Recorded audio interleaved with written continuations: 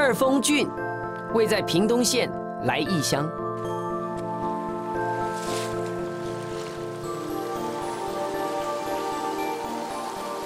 近一个世纪前，鸟居信平召集了十四万人次的台湾族人，还有汉人，用简单的技术，在林边溪的上游，就是这里，河床的正中央，深埋下了他发明的雁蹄。短短的渠道，除了供取水之用，还能够兼顾当地的生态环境。一直到现在，这个设施它一年的总供水量超过了一整座的白河水库，让来义乡许多的居民不需要使用自来水。但是你能想象吗？当年在二峰郡完成之前，这里可是一片荒芜的旱地，一进入雨季就会淹水，而到了干季，却又无水可用。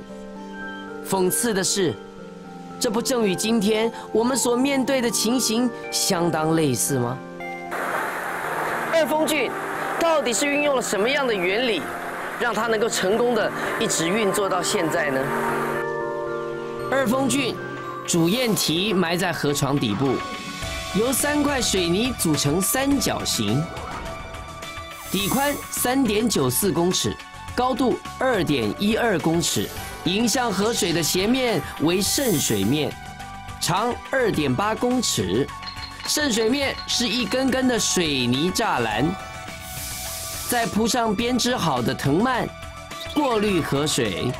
浮流水会从空隙和上方进水孔渗入，成为总长三百二十八公尺的三角堰堤，再加上宽一点九公尺。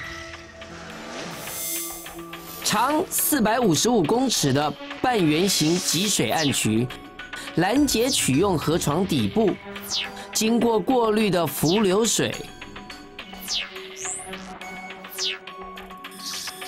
再借助地势落差，利用重力把水输送到农场和部落。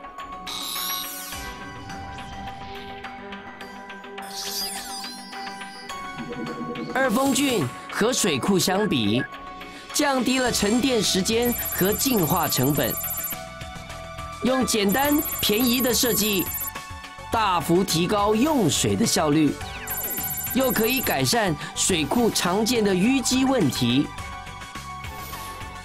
二峰郡等于是让可用的水资源倍增，而且二峰郡的地下工程不需要改变自然环境。